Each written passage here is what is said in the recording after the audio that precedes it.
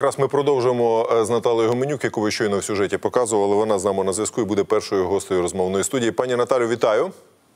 Слава Україні, вітаю вас. Героям слава. Ви щойно казали про те, що небезпечно е, все-таки, на вашу думку, відкривати купальний сезон, який завтра в Одесі стартує, начебто офіційно з дозволу обласної військової адміністрації. А загалом я зі свого традиційного питання почну: як ніч минула в Одесі? Настільки штормило на морі і в повітрі?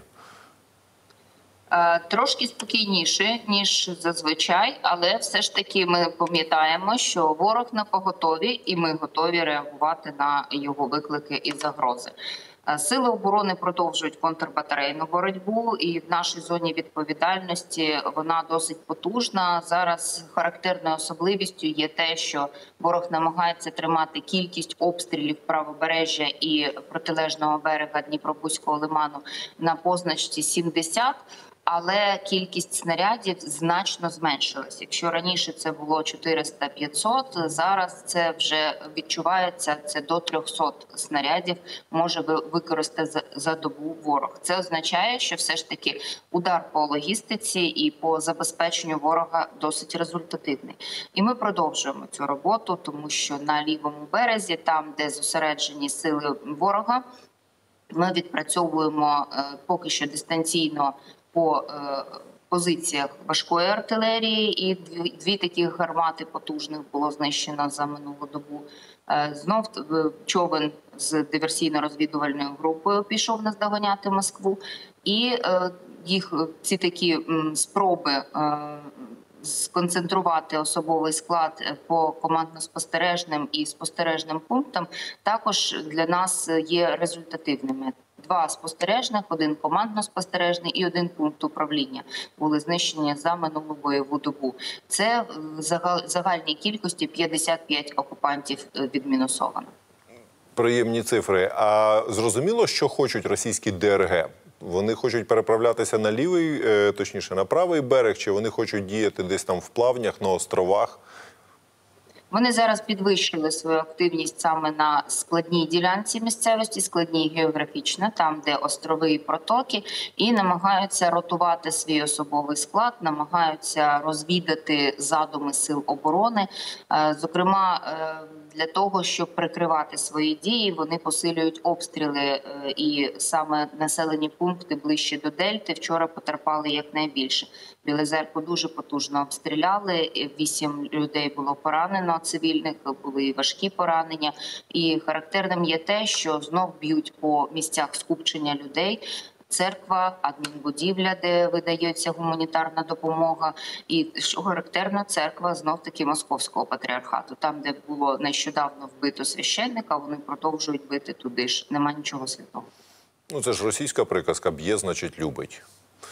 Е, та стосовно судноплавства в Чорному морі, якось ви фіксуєте, що воно змінилося після удару дронами по Лінігорському горняку і по інших російських плавзасобах? Тобто, як це позначилося на рейдах?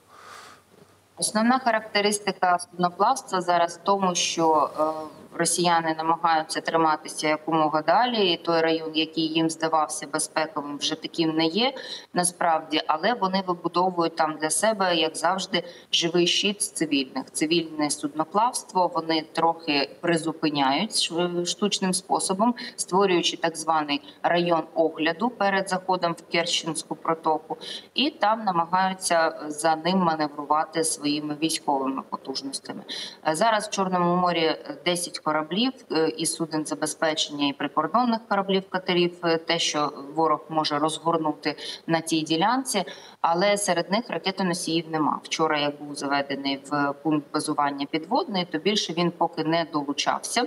Зараз ворог проводить потужну повітряну розвідку. Ми спостерігаємо це за активністю і безпілотних літальних апаратів і авіації в цілому. І цілком ймовірно, що в такий спосіб вони знову вишукують цілі для майбутніх ударів. Зрозуміло. А яка в такому разі ситуація з мінною небезпекою в Чорному морі?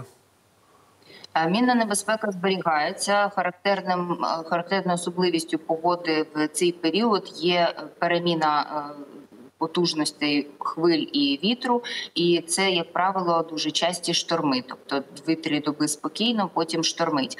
Це є основною небезпекою, тому що все те, що принесло. Е, Великою водою після підриву Каховської ГЕС воно ще може концентруватися і в віддалених районах моря, і ближче до дна.